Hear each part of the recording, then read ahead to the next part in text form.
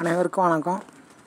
நேற்றைய வீடியோவில் அருவாமுக்கு தழையும் ஆடாதோட தழையும் அதை தழையை நறுக்கி போட்டு தண்ணியில் போட்டு ஊற வச்சுருக்கேன். நீங்கள் உங்கள்கிட்ட எந்த தழை கிடைச்சாலும் போடுங்க. இதில் வந்து பாத்தினிய செடியும் வேலிகத்தா முள்னு சொல்லுவாங்க. அதாவது இது அதாவது விஷத்தன்மை உள்ள முள் வெளிநாட்டிலேருந்து வந்திருக்குன்னு சொல்லியிருப்பாங்க இல்லையா? அந்த அந்த முள் இந்த ரெண்டு தழையை தவிர உங்ககிட்ட கிடைக்கிற எல்லா தழையும் நீங்கள் போட்டு தண்ணியில் ஊற போட்டு மணிலாவுக்கு தண்ணி பாசலாம் ரொம்ப நல்லா வரும். இன்றைக்கி ஊடு பயிராக மக்காச்சோளம் விதைச்சிருக்கேன். மக்காச்சோளம் ஐம்பது செடி சிவப்பு மஞ்சள் மக்காச்சோளம் ஐம்பது செடி நட்டிருக்கேன். ரெண்டுமே நாட்டு ரகம். நம்ம எந்த காலத்துக்கும் விதை எடுத்துக்கலாம். எந்த காலத்துக்கும் பயிர் வச்சுக்கலாம்.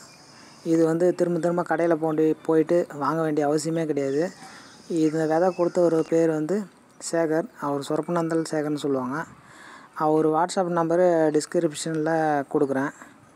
வாட்ஸ்அப்பில் மட்டும் கான்டாக்ட் பண்ணுங்கள் ஊடு பயிராக மேலும் காராமணி விதையும் பச்சைப்பயிறு விதையும் சோளம் விதையும் கேழ்வரகு விதையும் நாளைக்கு நட போகிறேன் இன்றைக்கி ட்ரம்மில் எடுத்த தண்ணியை வாட்டர் கல்லில் ஊற்றி வச்சுருக்கேன்.